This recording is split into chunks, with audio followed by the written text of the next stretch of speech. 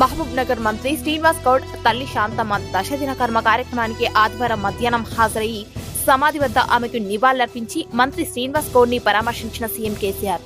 అయితే శాంతమ్మ సమాధి వద్దకు వెళ్ళేందుకు కేవలం సీఎం కేసీఆర్ వాహనంకు మాత్రమే అనుమతి ఉంది. మిగిలిన ఎమ్మెల్యేలు మంత్రులు ఎవరైనా వారికి కేటాయించిన పార్కింగ్ ప్రాంతంలో పార్క్ చేసి సమాధి వద్దకు నడుచుకుంటూ పోవాలి.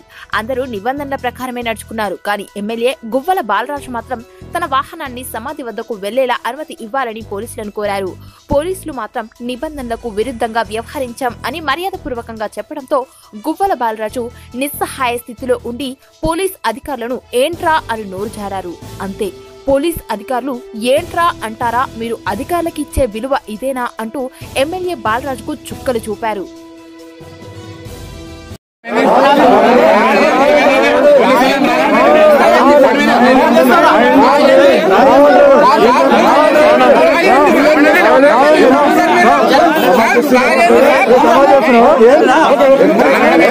పోలీసు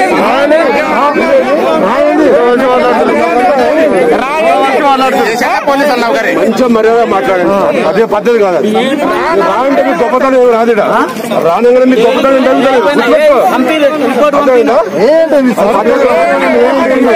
ఎవరు ఎంపీ గారు ఏ ఎమ్మెల్యే గారు